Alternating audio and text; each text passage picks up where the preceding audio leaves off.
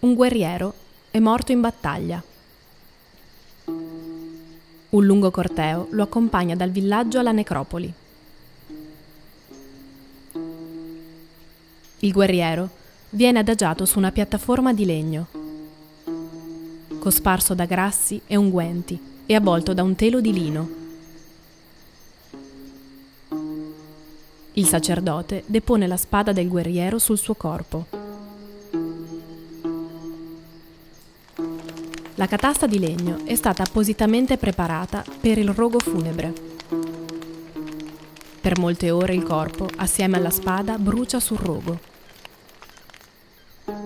Dai resti del rogo funebre il sacerdote sceglie e raccoglie alcuni frammenti di ossa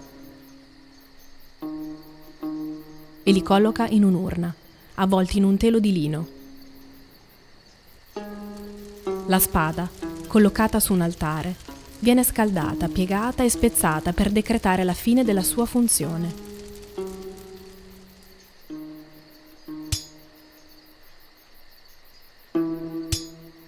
I frammenti vengono deposti sul terreno. È il momento di riunirsi attorno al dolio, che contiene il vino, e di consumare insieme la bevanda con eleganti tazze di ceramica. È l'ultimo saluto al guerriero si fa ritorno al villaggio. La ricostruzione dei rituali funerari rappresenta solo una parte delle ricerche condotte nella necropoli della Terramara di Casinalbo, esposte nella mostra Le urne dei forti.